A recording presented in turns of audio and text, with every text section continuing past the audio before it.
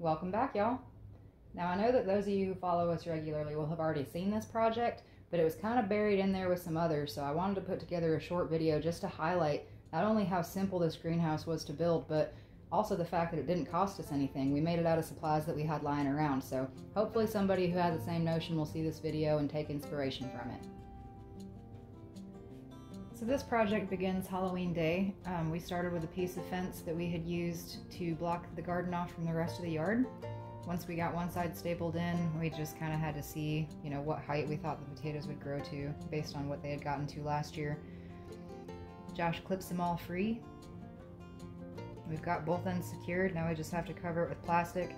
We used 55 gallon trash bags for this. I was originally going to cut them open so that I had twice as much plastic, but the bags were a lot bigger uh, than we thought that they would be once they were opened up all the way. So instead of cutting them, we just left them whole, keep it from tearing and things like that, you know, if the wind were to kick up. We used Gorilla Tape to get the two stuck together.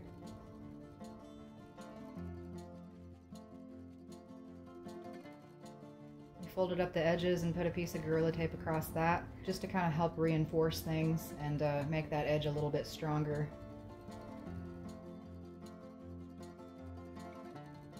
And that'll at least help keep it from tearing um, out from under these screws. For this, we just took some screws that we had lying around and uh, I got some paint sticks from work. I work in a paint store. That's why it says PPG at one end. um, and uh, we basically just wanted to go right for the very edge of the plastic and then we just cover the Gorilla Tape with something a little bit more waterproof and a little bit stickier.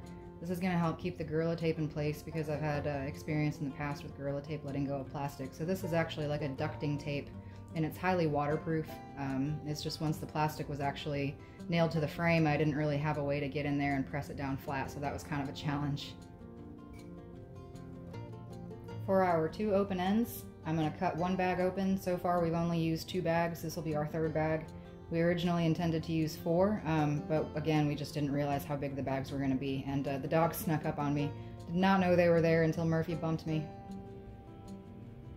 So once we've got that opened up, we're just going to separate it into two pieces, and uh, each piece will close off one end of the house.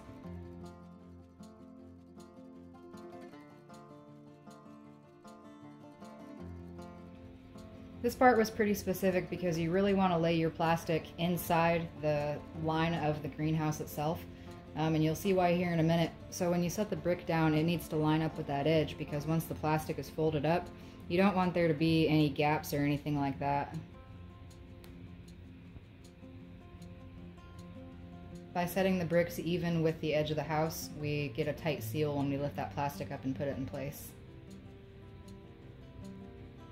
Cut off the excess plastic, put a couple pieces of tape to hold it in place. And here I'm just kind of curling over the excess plastic where it goes around the curved body and uh, covering that entire section with Gorilla Tape to keep that edge nice and sealed up.